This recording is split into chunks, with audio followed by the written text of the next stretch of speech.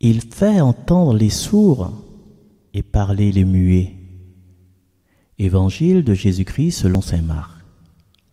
En ce temps-là, Jésus quitta le territoire de Tyr, passant par Sidon, il prit la direction de la mer de Galilée et alla en plein territoire de la Décapole.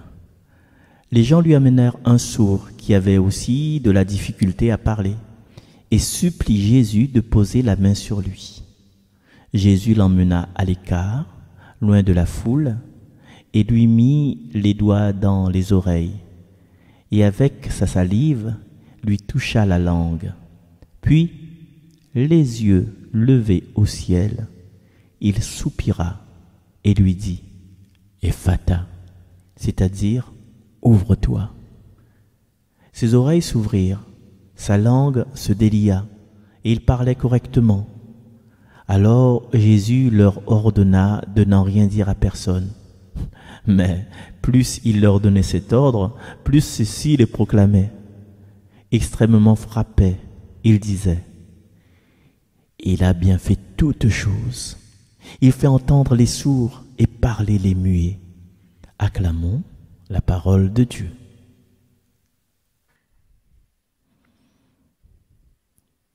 Aujourd'hui, l'Évangile nous présente un miracle de Jésus.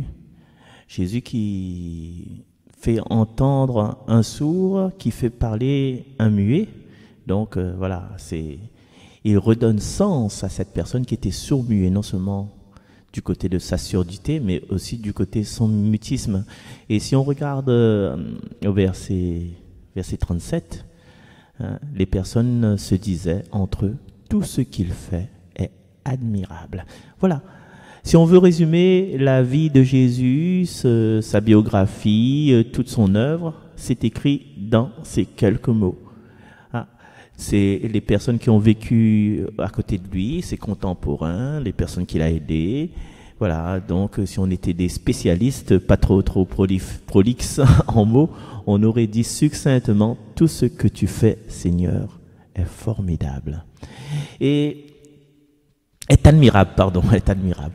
Et puis dans ce côté du mot admirable, ben il y a la manière dont il le fait, avec la joie dont il le fait. Et en fait, si on applique ce que Jésus fait pour nous, ce que Dieu fait pour nous, ce que Jésus, Père, Fils et Saint-Esprit font pour nous, et on voit bien que c'est admirable. Même si quelquefois, euh, il utilise justement nos handicaps, nos handicaps pour montrer sa gloire. Et l'handicap de ce sourd-muet, c'était justement qu'il était sourd-muet. Et peut-être que nous, dans nos vies, nous avons des handicaps et ces handicaps nous doivent nous pousser ou doivent pousser les autres à nous ramener devant la personne de Jésus. Parce que le gars qui est sourd-muet, il, ne choisit pas de, de se libérer, mais c'est grâce aux autres, c'est grâce à la prière, l'intercession des autres. Et moi, quand je reçois, quelquefois je n'ai pas envie de dire, ah, mais veux pas, moi, quel Seigneur, quelle Église, quelle la messe, quelle, quelle prière. On, refuse. On refuse. Et quelquefois, on ne se rend pas compte, c'est que même si on refuse, même si on tourne le dos à cette, cette opportunité d'être guéri, d'être, d'avoir une vie plus claire, on ignore que ce sont quelquefois les proches, nos proches, nos enfants, nos conjoints, la famille ou bien dans notre milieu professionnel, ou bien des personnes qui, qui s'enquièrent, hein, ça même dit, qui, qui font attention à nous, ou bien qui glissent une petite prière dans, dans leur moment de cœur à cœur avec le Seigneur. Voilà, regarde, par exemple, regarde Marcel, euh, il a besoin de tel... Euh, de telles choses, euh, je le vois triste, euh, il a besoin d'un petit argent. Voilà, au lieu de m'envoyer euh, des chèques à mon nom à la radio Arc-en-Ciel, vous pouvez prier pour moi tout simplement. Hein, priez pour...